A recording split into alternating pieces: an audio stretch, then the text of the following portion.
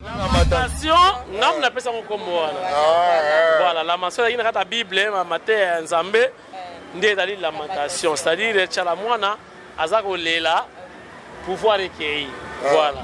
Prestation ya mère Tshala bakei na ye rapide na aner déclaration ya mobali ne Claude Machala ke mère azalaki agressé mpo na nzembo wana yembi ingratitude mwa liloba mamu national abala te Yo olobi mobali na ye? Claude Mashala. Te! Abalaka wapi? Bo Claude Mashala. Mariage ezalaki wapi? Wana mobali ya bato asundola bana akota nde kimario epai ya mamu national. Me ndenge ya ye alobaki ke match oganyaki te, maître atie yo Ba biloko wana tout wana tout. Ah, bon. Toko tout na contexte. Ah. Pas scientifique mais ah. contexte à polémique hein. Ah. OK. Na sens euh, figuré. Pour ah. dans sens propre, hein? na sens figuré. Tout na sens figuré ne pas kanisa wana. Sur professeur nan. Kabila. Oyebi te? Te, yana bito kanisa sikoyo. Professeur Kabila. Est-ce que botala nanu Kabila bien akota professeur ya Fatshi. Siko makambo yango mpe bazomona mwa maloba wana chala mwana alobi ezobalana mpe na maloba wana badunia balobaka na bato mosusu ya fcc baloba yango bon kabila akotya félix te comme président parce que faci kabila aza seni te na consultation bomonaki awa président seni akendeki mais bango balingi balingi balingi consultation balingi nini dialogue mais na consultation nanga akendeki fale nanga pa boya ti awa kende na kokende te parce que azwaka te mais nanga ye parti eza seni ezali indépendante soko kabila soki atyaki félix président na ordonnance nini na décret nini non mais tshala mwana n'a pas qualité aza na niveau te ye abetaka kaka musique alongola bilamba alakisa bolumbu esiliti asali campagne moi j'ai accompagné le chef de l'état na congo central tokoti kuna campagne ezosalama ya, ya shalari bakongo ba baboyi campagne wana masasi ezobeta na boma tokota na fatibu masta na nga saint thomas journaliste akota te azonga nga na sida nakota donc crepitement ya babale na boma donc moto abongo nde bokameli pouvoir mais fale faci afana na ndako bayeleka pouvoir yango na papier komono président ah bondiko soki réellement tyala mwana eza ba colibe te eza ba réalité moi je regrette aza na niveau te et elle n'a rien compris ntango tshisekedi aboyaki kosigne loyauté ntango balobi bakomi loyauté abare ntango abare elakisi ke onile makambo nyonso ntango baproche ya kabila ya, ya mobutu bayebisi eke non c'est Tshisekedi a barrer makambo nionso, toyoki mbala moko ba longoli ye, ba revoquer ye. Yango pe na sengi na Kabila, soki a nommaki Tshisekedi Felix comme President de la Republique, a revoquer ye.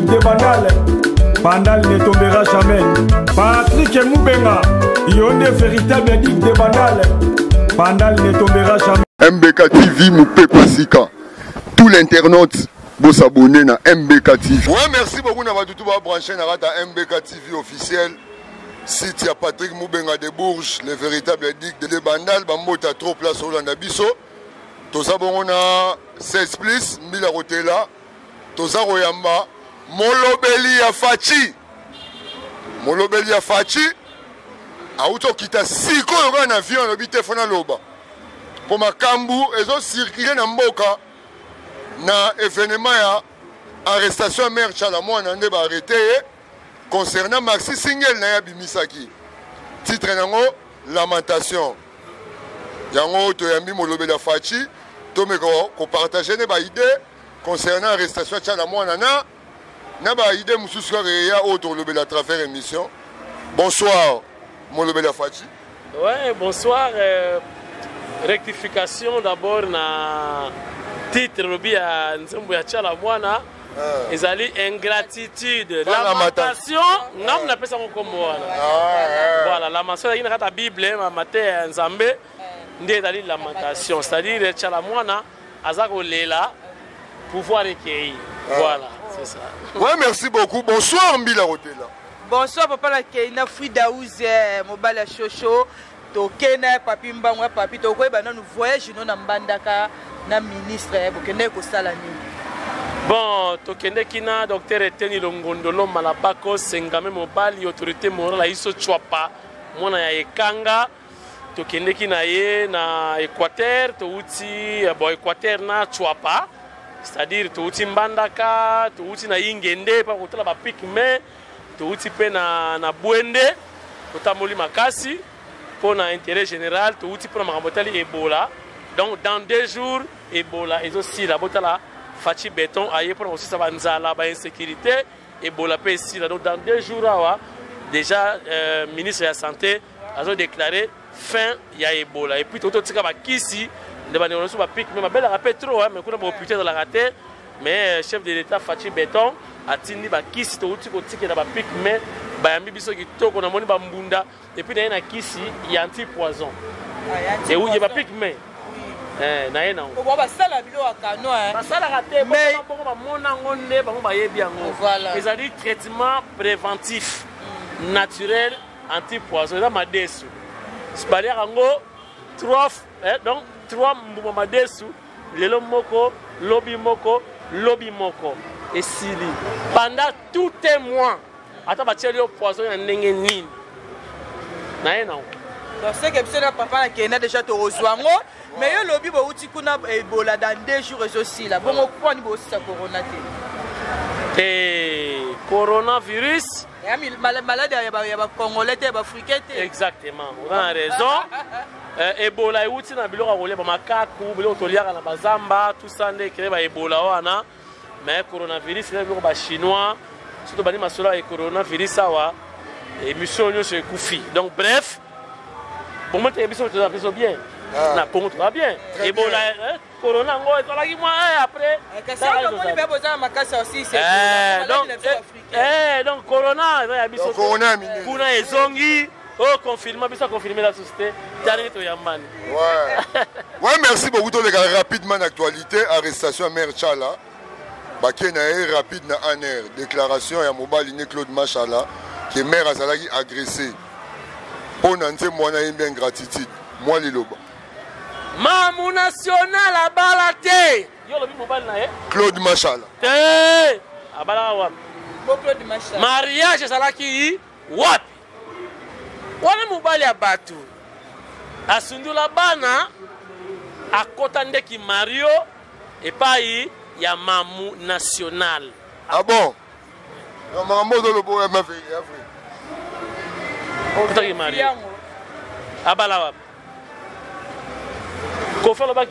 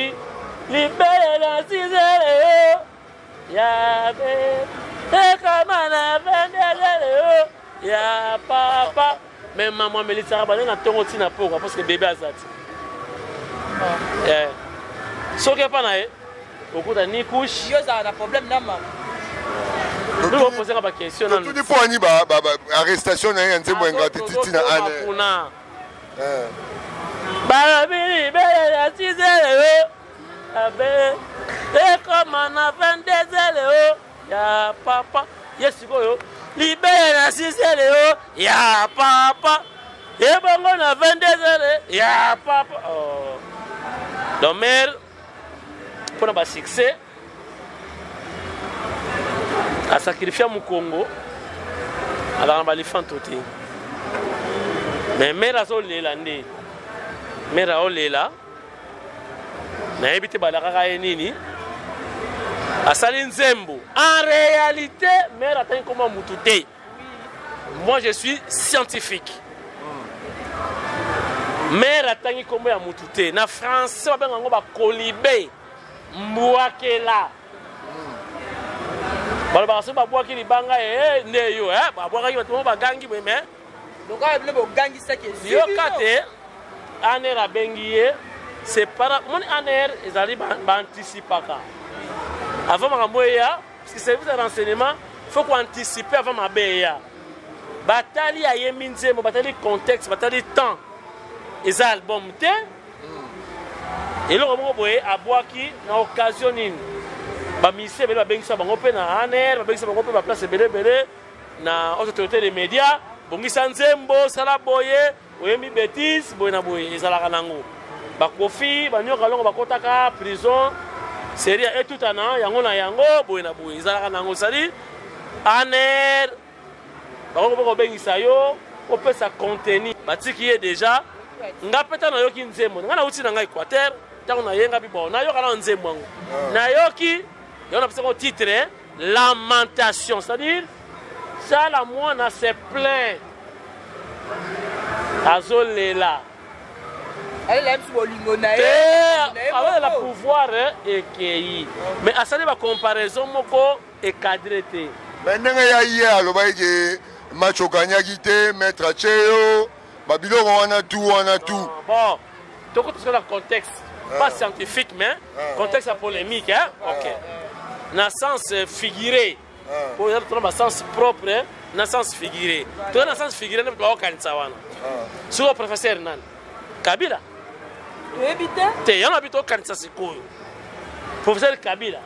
Est-ce que botala nanu Kabila bien akota professeur ya Fatshi botala Fatshi ntango azwi pouvoir botala kaka bakorige ye te déjà azokende bozomona bino oyo nde président mais botala Kabila ndenge abandaki pouvoir bavesta minene makambo tu bazolakisa ye kolakisa sala boye mokonzi afandaka boye atyaka boye abandi kochange ekomi no fo vimba obangisa ba congolais tika mandefu nyonso balakisi ye mais eh. fati aza deja mwana ya prêtre le sphinx oyo afanda pembeni ya mobutu seseseko maréchal ayebi diplomatie faci afanda deja na poto ayebi deja comment babourgeois bafandaka ayei na bamasi ya bamindele amata aza ba metro oyo kabila amataka kutu nano te ayebi ata tour eiffel te non ya la différence moto baolakisa loba na république démocrate azolia mini na félix oyo eh, mais babi eloko nyonso bayekolaka yango eza mabe te nyonso bayekolaka te oyebisa ngai balakisi balakisi eloko nini eza eloko nini oyo oyebisa balakisa yango ah. yo kasumbalesa balakisaka yango omekasi te nakomi na moni yango ndeti ah. nani atindaki yo keye kasumbalesa yo moko oyebakilakisa ngai ah.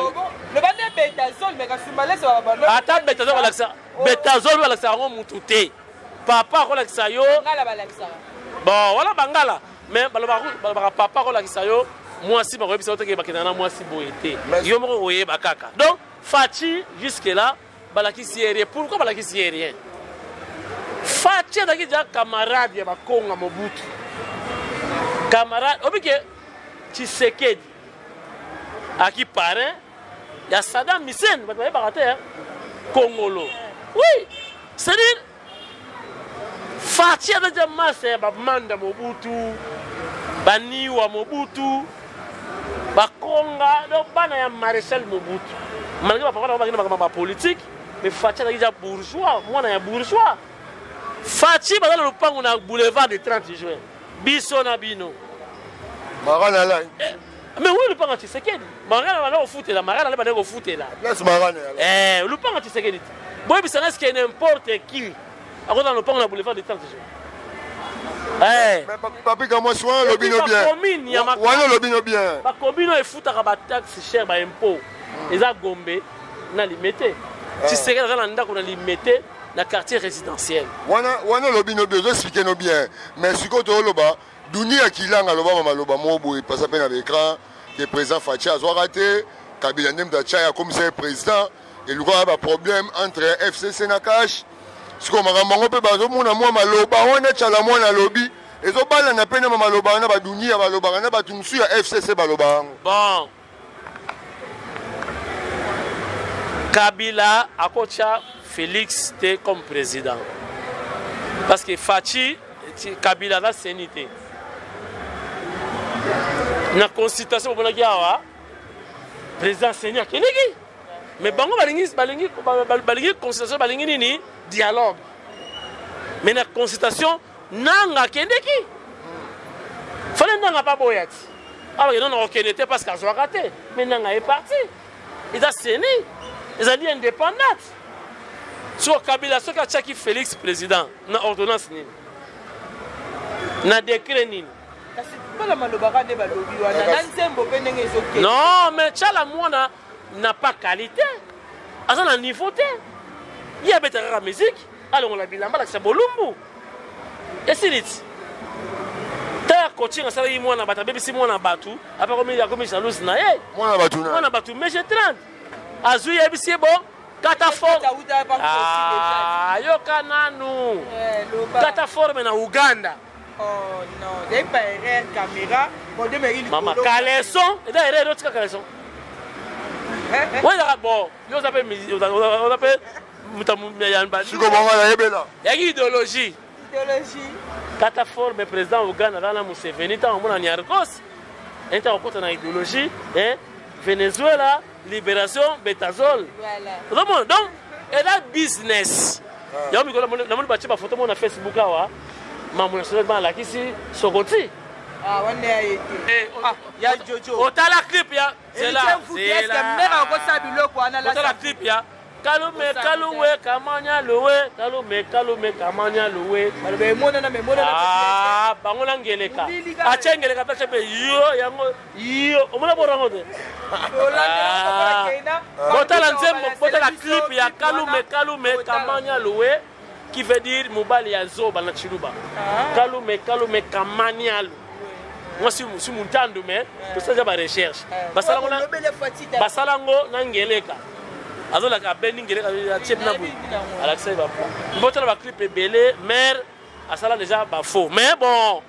bref na mère na niveau ya masolo wana te moni ntango makambo ya bapolitike yango ebandaki shader alobi o oh, zo basalaki contrat eh?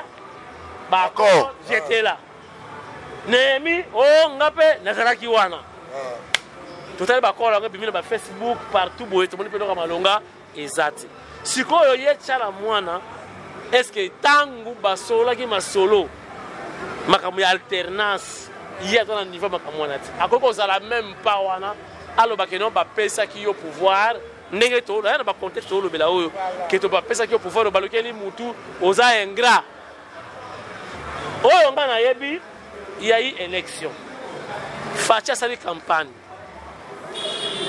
basali campagne accompagne na directeur ya cabinet na ye kamere na avion epola boyebi yango boyebi ke félix ariske vie na ye na kamere na mama denise na amida bokomprendre ngai nauti équateur na mati na avion tomataki na mauvais temps patela kinshasa balobiki na mbandaka mauvais temps mais je vécu ce que j'ai vécu nabaki bana batikali siko na avion ya bata monisco mama tosali shit moko na likolo ya mapata nde nazongi kisasa te sikoyo natali avion wana oyo felix asalaki campagne ye na kamere avion epola donc boyoke bokabeli motu pouvoir motu ariske vie na ye na mwasi na ye bakabeli pouvoir te asali campagne Moi j'ai accompagné le chef de l'État na Congo central.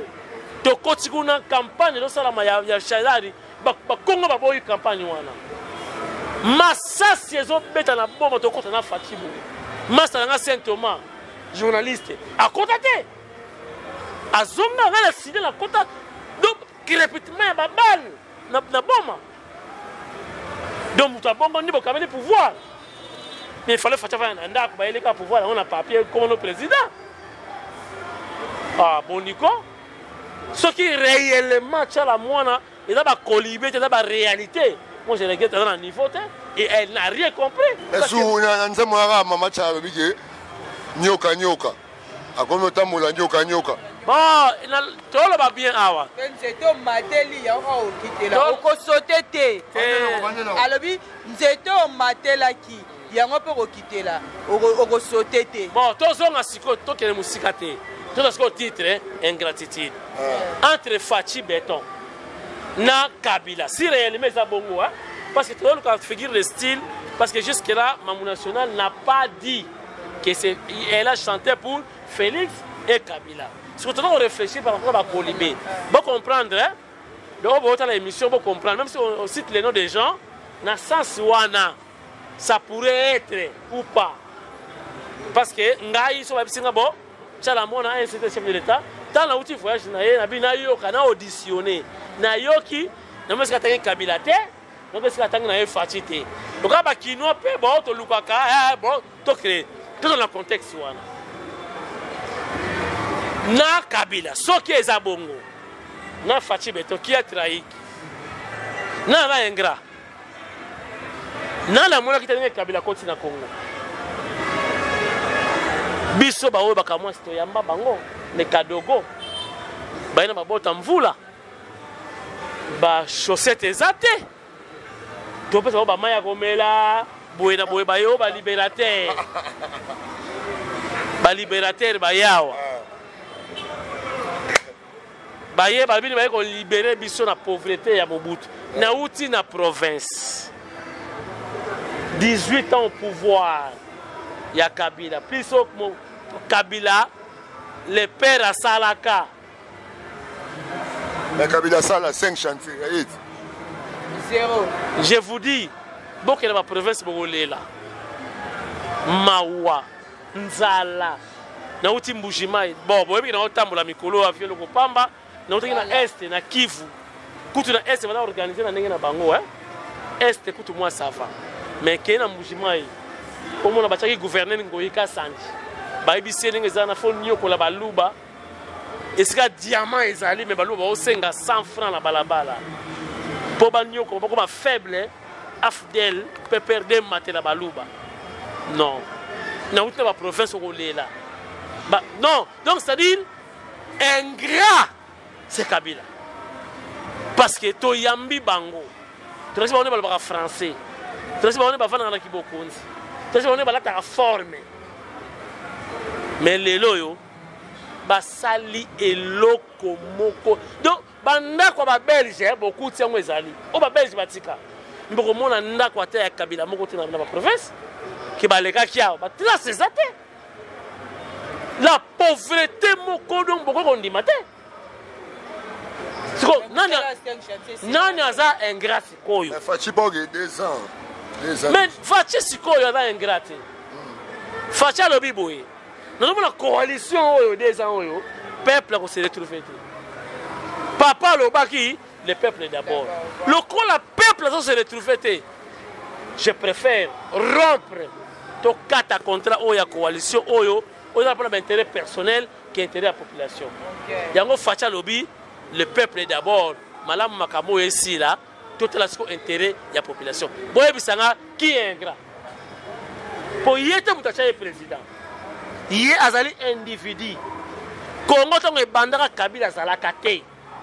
ayebi histoire ya congo te azalaka ya mwana kabila ta lipasa bandeko na ye ba etienne kabila banani ah. ya na mwana kabila papa na bango kabila le père nakota na deba wana te mais etienne kabila sa aloba ngo kata ndeko na bango te aloba ngo eh, etienne sa alobaka ndeko na bango te tokota na badeba wana te comprendre eh? Toza na ba debat wana te. Asi aloba ke aa ndeko na bango te. Mais si toyoka yoka trop ke non balaka lipasa te na Jeannette. Eh, baza mapasa te, aza soki eh, tante na ye toyoka yoka kaka. Mais tokota na ba debat wana te parce que awa eza debat ya nzembo ya mamu national nzembo yango balobi ezali kolibe eza mbwakela si réellement abwakeli faci eza na sens te mpo kabila akozala jamais professeur ya faci akopesa mpe diplôme te Parce que diplôme ezalaki euh, élection. Ye aza seni te. Nanga, boloba ne nanga. Soki ke nanga moto akabelaki Fatshi pouvoir. Ekozala possible parce que ye azalaki maître na kati ya seni. Na omwa te nanga moto atyaki Kabila mutu na ye. Te! Kabila asala coup d'état. Balongolaka Mobutu na ba armes. Nanga te. Nanga azalaka te. Ntango makambo Kabila ye na pouvoir Nanga azalaka te. Et puis boyoka sikoyo eloko oyo. Est-ce que constitution na biso elobi ke soki tata akufi mwana afakoma président? Kabila Joseph akomi na pouvoir ndenge. Qui vous a dit ça? Oh, qui vous a dit ça, M. Tadalarité Ah, Néoyokara. Donc c'était la violation de la Constitution. Donc on n'avait pas le, le pouvoir. Il y a encore un chef de l'État. La Congo. il n'avait pas ce pouvoir, ya kokoma chef de l'etat parce que asalaki élection te mais akoma asala pe 18 ans 18 ans yango nalobi basi baviolaki déjà constitution ya mboka il ne mérite pas être notre président parce que muze akufi fo ya koma président mais ezalaka eh. bacoïncidence eyaka kaka tomoni yango mpe Papa Tshisekedi akufi lelo pe président tozwi président Félix eza na kobe mabe te. Je sais que euh, euh, euh, zela zela répondre maire. Nayebi que maire azo président azo aza na maîtrise côté wana te. C'est-à-dire quoi? Félix Tshisekedi papa na ye akufi parti etikali na parti ntango bazoluka sikoyo bato bakoremplace tshisekedi na parti mwana ya tshisekedi apose candidature lokola bato nyonso azalaki mpe ye moko te parti peuple c'est-à-dire euh, bamembre ya idps nde bavote tshisekedi félix comme président ya parti alors na ndenge ya Ba programmes ya le règlement d'ordre interieur ya parti que président du parti akoki ko postuler comme chef de l'État, candidat à la présidentielle. Nde Fatshi a postulé qui peuple nde voté akomi président. Et là, Tshisekedi akufi, allez, bazui mwana na ye comme président. Donc voilà. Wana explique yo. Yango peut être constitution elobi que soki Kabila kufi nde mwana ye akoma président. Ezalaki philosophie ya, ya constitution. Wana merci beaucoup papi Kamwasi tokomo chite mais moi songi songi point com ezangaka te tolandi président ya IDPS Jean-Marc Kabund alobi libala ya FCC cash esili yango nde eza ko empêcher président Fatshi a servir population te. Yoko oloba nini mwana mboka papi kamwasi. Bon ça n'engage que lui, ye mutu alobi euh, Kabunda ayebisi nga te nakoma ya porte parole na ye na interprete oyo alobi mais ya président UDPS. Oui, azali grand prêtre. Kabund n'est pas n'importe qui. Tango alobi ayebi à s'adresser na banane. Parce que le chef de l'Etat lui-même n'a pas dit que il y a eu rupture entre FCC na Cash, mais le chef de l'Etat alobi que non amoni deux ans oyo tosali eloko te na coalition oyo. Yango asengi nde consultation. Mais soki Kabunda alobi que ye mpo na ye ezali ma rupture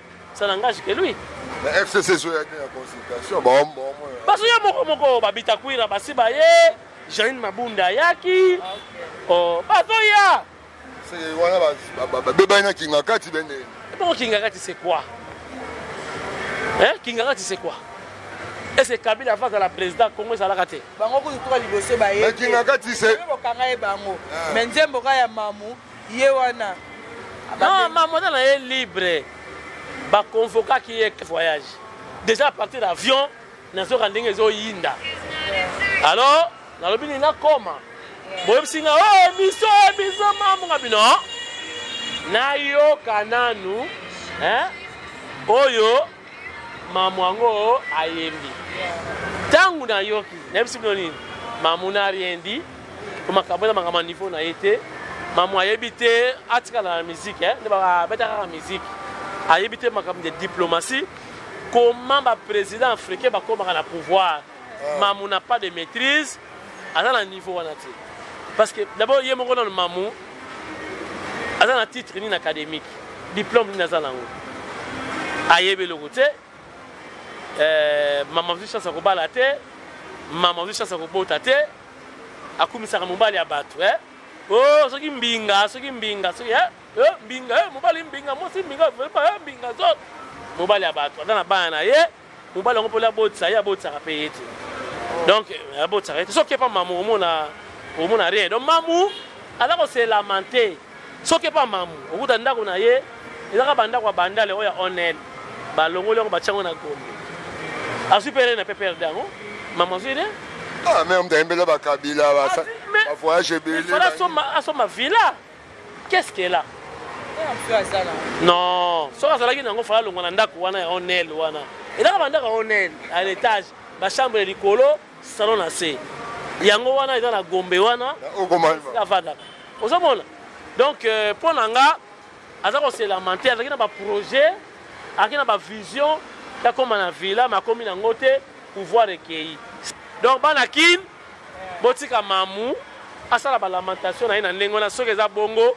me boyeba yango ke faci atikala kozala nome te Soki Fatshi aza nomme, nao senga na Kabila lelo a revoquer ye.